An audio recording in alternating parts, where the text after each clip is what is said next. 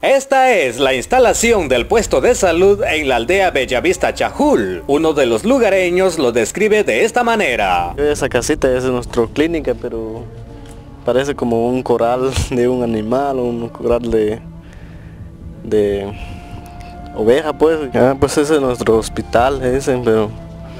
La esa es nuestra clínica, pues solo hay unos...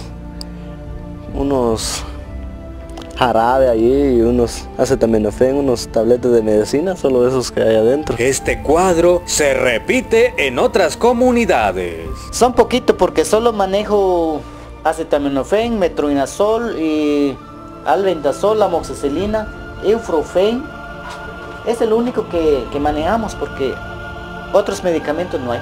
¿Preservativo les da el ministerio de...? Sí, condones siempre mandan, pero ahorita no lo tengo porque se ha terminado. Aquí a veces se necesita a veces suero inyectado, no tenemos. Este suero que usted ve en esto, yo creo que este suero, si miramos, hay medicinas, esto creo que no está vencido. Pero dice aquí exactamente octubre 2011, dice, esto todavía.